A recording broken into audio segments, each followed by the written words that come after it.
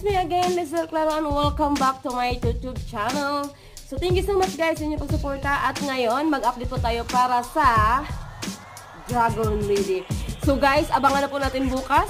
Lunes na po, Monday po. Lunes, yeah, lunes uh, uh, July 15, 2019. So guys, abangan nyo po bukas. Simula na naman po ang ating uh, pagpapanood nitong The Dragon Lady. Let's support The Dragon Lady guys. Panoorin nyo. Huwag mag-like po kayo. Huwag po kayo mag-thumbs down sa JMA ha. Kasi talagang mahal na mahal ko po ang Dragon Lady kasi ang dami kong views. oh, marami akong views. Marami din sigurong galit sa akin kasi may nag-thumbs down. So guys, kung gusto nyo mag-thumbs down, okay lang po kung ayaw nyo.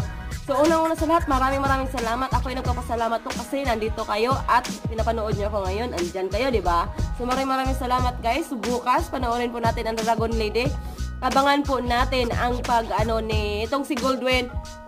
Alam na kasi natin kung ano na mangyari kay Goldwyn, di ba? Nang pag, pag, ano ni Goldwyn, pag uh, try doon ni Goldwyn kay Ena, eh, hindi natin siya ma-question si Goldwyn na pag na, try doon siya kasi napakasakit din naman ang pangyayari na yon na inaayawan siya ni Ina, hindi tinatanggap yung proposal niya. Ito naman si Ina, agad-agad tinatanggap niya itong si Michael. Di ba ang pangit? It's so unfair. Dapat pinaano pa niya, di ba, ni Ina.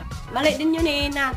Nagmamadali din siguro nito ang nakakainis. So ngayon, nag-try doon na to si Goldwyn at dadalhin na si Goldwyn bukas. Yan, bukas dadalhin na si, no, no, si Ina, dalhin ni Goldwyn doon kay Vera at kay Astrid. So, yan po ang ating abangan at abangan po natin guys ang pagpatay nitong si Goldwyn. Alam naman natin na itong si Vera walang tiwala kay Goldwyn talaga. So, may posibilidad na nitong si Goldwyn pasisisihan niya ang pag-tridor niya doon kay Ina at saka kay basta sa, sa, sa side ni Ina ang pagpatay ng kanyang cousin, di ba? Mahal na mahal siya ng cousin. Sana po ay uh, kadramahan lang po yon at hindi niya pinatay, di ba? Parang ganun lang, no? Just, ano lang po, imagination ko lang po yon at parang feel ko lang po na hindi siguro niya pinatay yun. Di ba sayang? Di ba ganun? Sayang. Kaya Goldwyn, abangan kita bukas Goldwyn. Mahal na mahal ka namin. Kami na lang magmamahal sa'yo. Nako, my God. Iba kasi pagmamahal ni Goldwyn, di ba siya ang dahilan kung bakit nakaahon itong si Ina siya ang dahilan kung bakit naging uh, ano siya, naging successful itong si Ina. Mm-hmm, siya po kung ano kasi siya yung tumutulong sa kan, sa kay Ina eh, pag, from the beginning until the end. Tapos yun lang uh, nasasaktan itong si Ina dahil nga doon sa pangyayari. Pero what to do yan eh. Kaysa naman magsama silang dalawa. As I said, kaysa naman magsama silang dalawa habang buhay. Tapos hindi siya ang tunay na minahal ni Ina. So, yun guys. Abangan po natin bukas. Monday na po. Maraming maraming salamat.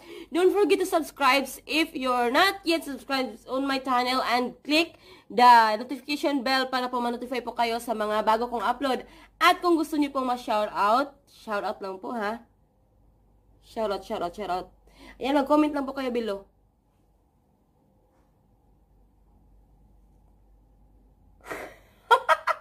So, thank you so much guys. Andito mo pala ako kay BNM channel ngayon. Naka-live siya. Nakabusa yung cellphone ko guys. I'm sorry BNM channel.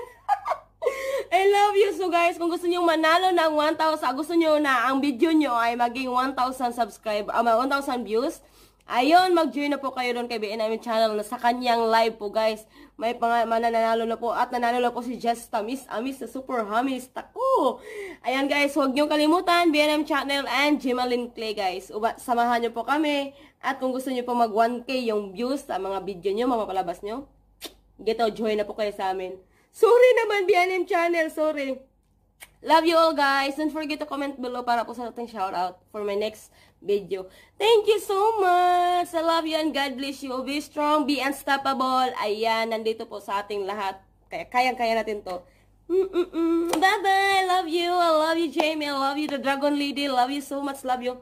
Thank you guys. Love you.